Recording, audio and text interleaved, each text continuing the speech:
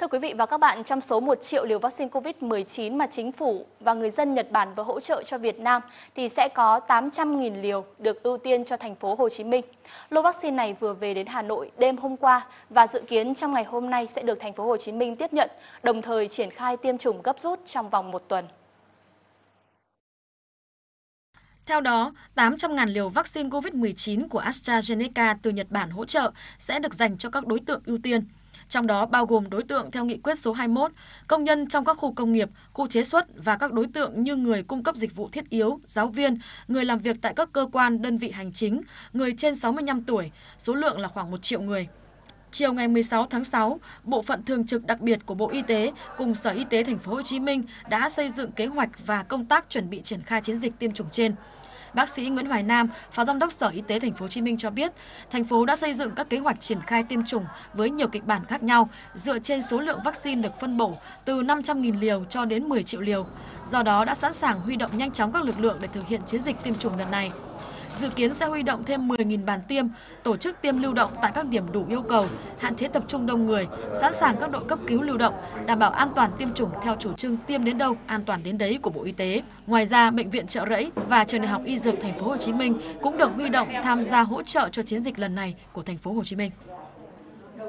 Trong thời gian giãn cách toàn thành phố, thành phố Hồ Chí Minh với sự góp sức của Bộ phận Thường trực đặc biệt Bộ Y tế đang có những biện pháp quyết liệt nhằm mục tiêu kiểm soát dịch bệnh trong vòng 2 tuần.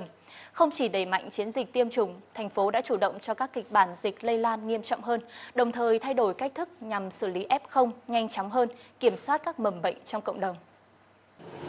Trong đợt dịch thứ tư, các bệnh viện tại thành phố Hồ Chí Minh bị Covid-19 tấn công dồn dập. 60 trường hợp dương tính tại bệnh viện bệnh nhiệt đới khiến thành trì điều trị Covid của phía Nam phải tạm phong tỏa.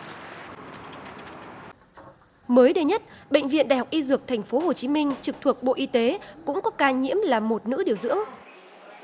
Nó khủng từ ngay từ nhân viên của bệnh viện à, nhiệt đới chứ không phải à, ở đâu cả. Chúng ta xem lại cái công tác kiểm soát như thế nào.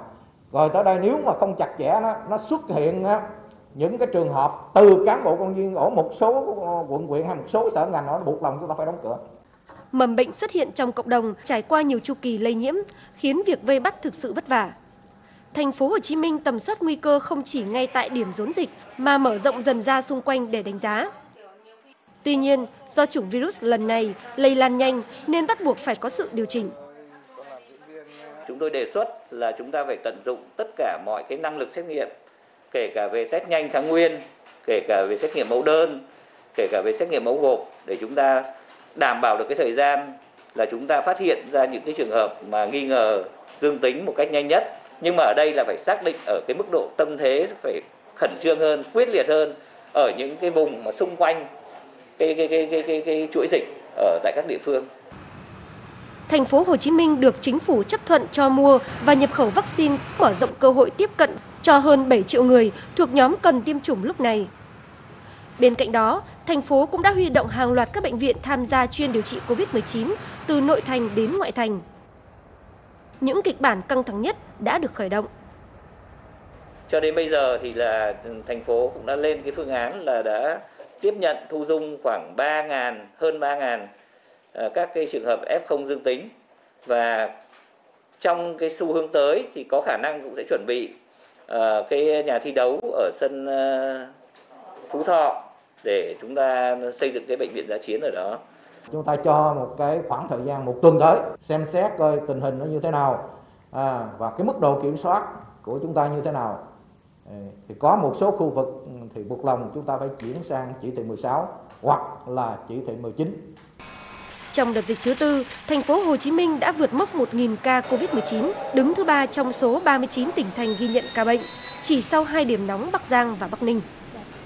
Thưa quý vị, Văn phòng Chính phủ vừa có thông báo kết luận của Thủ tướng Chính phủ Phạm Minh Chính tại cuộc họp thường trực Chính phủ về việc VNVC mua vaccine AZD1222 do hãng AstraZeneca sản xuất. Thông báo nêu rõ Thường trực Chính phủ đã thống nhất đồng ý với đề nghị của Bộ Y tế về chủ trương thực hiện phương án lựa chọn nhà thầu trong trường hợp đặc biệt được quy định tại Điều 26 Luật Đấu thầu đối với việc mua vaccine AZD1222 do AstraZeneca sản xuất của VNVC với các điều kiện đặc thù đã được Bộ Kế hoạch và Đầu tư thẩm định. Thủ tướng Chính phủ Phạm Minh Chính giao Bộ Y tế khẩn trương chủ trì phối hợp với Bộ Kế hoạch và Đầu tư, Bộ Tư pháp, tiếp thu ý kiến của các đại biểu dự họp, ý kiến bằng văn bản của các cơ quan liên quan, ý kiến thẩm định của Bộ Kế hoạch và Đầu tư để hoàn thiện hồ sơ trình xin ý kiến thành viên chính phủ, báo cáo Thủ tướng Chính phủ. Sau khi nghị quyết của Chính phủ được ban hành, giao Bộ Kế hoạch và Đầu tư chủ trì phối hợp với Bộ Y tế dự thảo quyết định phê duyệt phương án lựa chọn nhà thầu trong trường hợp đặc biệt theo quy định tại Điều 26 của Luật Đấu thầu, báo cáo Thủ tướng Chính phủ. Thủ tướng Chính phủ cũng yêu cầu Bộ Y tế khẩn trương cân đối cấp bổ sung vaccine phòng COVID-19 cho các địa phương bao gồm Bắc Giang, Bắc Ninh và Thành phố Hồ Chí Minh để tiêm cho các đối tượng ưu tiên theo quy định.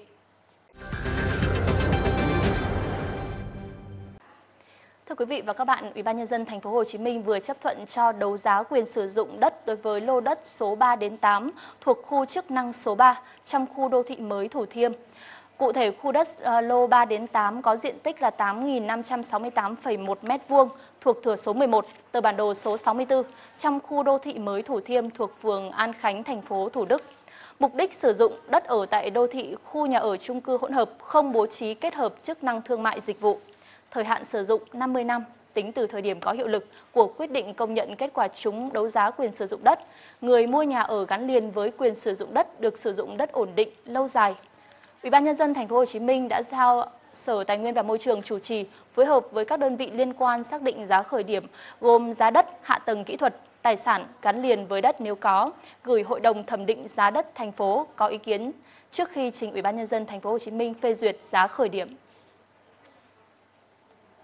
Đài truyền hình kỹ thuật số VTC chính thức ra mắt chuyên trang điện tử VTC Now tại địa chỉ www.vtcnow.net.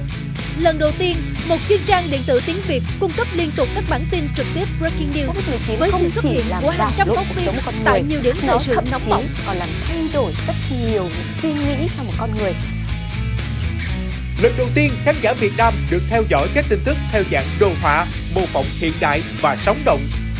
những chương trình bản quyền hấp dẫn nhất trên hệ thống 15 kênh truyền hình VTC được chắc lọc và công chiếu liên tục mỗi ngày. Hệ thống lịch phát sóng tự động giúp khán giả tra cứu và theo dõi nhanh nhất các chương trình đã đang và sẽ phát sóng trên VTC. Những TV show ăn khách những video hấp dẫn về sức khỏe và ẩm thực mỗi ngày. Những bộ phim đặc sắc của các nền điện ảnh hàng đầu thế giới và không thể thiếu là những nội dung độc quyền chỉ dành riêng cho khán giả online. Đó là âm nhạc. Là series các chương trình, podcast, sách nói, truyện hay. Là những bộ phim tài liệu lịch sử, khoa học kỳ bí. Là câu chuyện chưa từng được khai phá về công nghệ, vũ khí quốc phòng. Và là cả một thế giới thể thao sống động. Thế giới showbiz đầy sắc màu. Hãy truy cập www.vtcnow.net để theo dõi các chương trình đặc sắc của VTC ngay hôm nay.